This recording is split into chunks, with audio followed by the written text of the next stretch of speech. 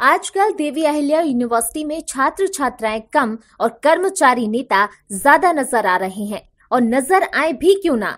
क्योंकि कर्मचारी संघ के चुनाव जो होने जा रहे हैं, यूनिवर्सिटी का नालंदा एवं तक्षशिला परिसर कर्मचारी नेताओं के चुनावी जीत की अपील के पोस्टर बैनर से पटा हुआ है। देवी अहिल्या विश्वविद्यालय के कर्मचारी, गैर शिक्षक संघ इंदौर के निर्वाचन रविवार 17 फरवरी को होने जा रहे हैं।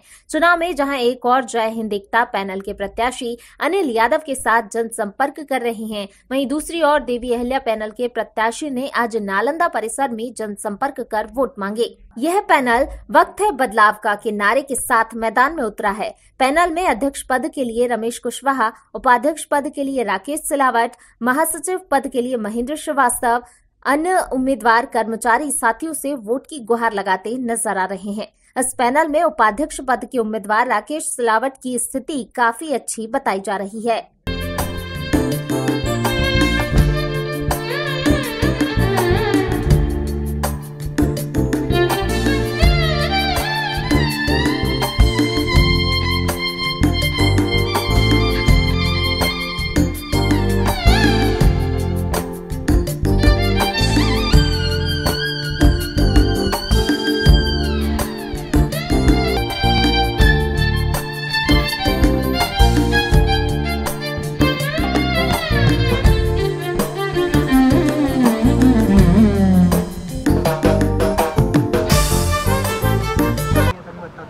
सत्रह फरवरी रविवार के दिन देवेला विश्वविद्यालय गैर शिक्षक कर्मचारी संघ के जो निर्वाचन होने जा रहे हैं, इसमें 522 मतदाता जो है मतदान करेंगे। और इसमें दो प्रमुख पैनल जो है चुनाव लड़ रही है, जिसमें हमारी देवी अल्या पैनल और एकता पैनल। देवी अल्या पैनल से हमारे सशक्त उम्मीदवार के रूप में मैं स्वयं अध्यक्ष पद पे उम्मीदवार हूँ। साथ ही महासचिव पे महेंद्र श्रीवास्तव जी हमारे उम्मीदवार हैं। उपाध्यक्ष हमारे निर्भीक उम्मीदवार राकेश सिलावट जी उपाध्यक्ष पे हैं।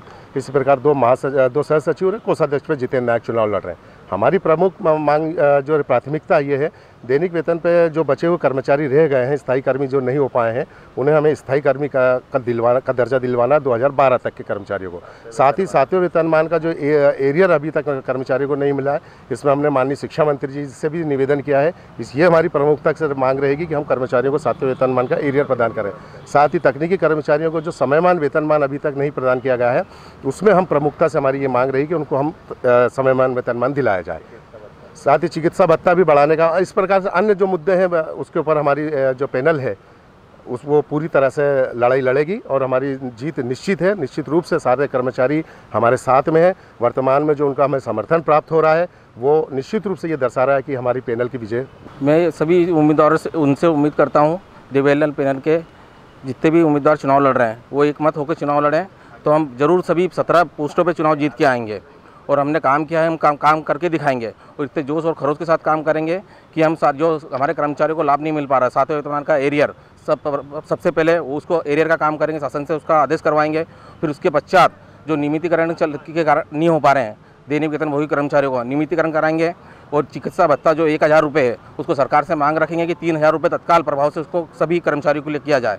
और अंकुर क्षमता आवास में हमारे जो नर्मदा लाइन की समस्या है उसके कनेक्शन शीघ्र से शीघ्र कराए जाएँगे। वहाँ पे सुंदर बगीचा बनाया जाएगा और एक भव्य प्रवेश द्वार बनाया जाएगा। और हमारे कर्मचारी जिस कोई सी भी समस्या रहती है उसकी समस्या के लिए रजिस्ट्रार और बीसी साहब से जर, जर, ज़रूरत पड़ने पर उनसे मुकाबला करके उनसे हमारी सारी मांगों को करवाया जाएगा। मैं प्रमुख रूप से हमारे साथियों से निवेदन करना चाहूँगा कि जैसा आप लोगों को मालूम है कि 30 वर्षीय पुरानी है ये पैनल है जो लगातार कर्मचारियों के हितों के लिए संघर्ष करती रही है। इस बार परिवर्तन की बयार है। चारों तरफ़ पिछली जो यूनियन रही है, उसके प्रति बहुत आक्रोश है। निश्चित रूप से इस बार जो है देवी अहिल्या बहनों को भारी बहुमत मिलेगा और हम लोगों ने जैसे कि प्रमुख रूप से जो मांगे रखी थी, सातवें वेतनमान का एरियर, सेवानिवृत्त होने वाले कर्मचारियों को सातवें वेतनमान से ग्रेजुएटी का भुगतान और साथ ही साथ अवकाश समर्पण के जो भुगतान होता है, वो भी साथ ही वेतनमान से मिलना चाहिए, जो नहीं मिल पा रहा है। पिछली यूनियन लगातार प्रयास करने के बाद भी असफल रही। उन्होंने हमारे तकनीक कर्मचारियों का समयमान वेतनमान आदि कराने में असफल रही है। और इस प्रकार अन्य जो भी मांगे हैं, उसके लिए हम सतत प्रयास करते हुए अतिशीघ्र हल करेंगे, ऐसे हम आशा करते हैं।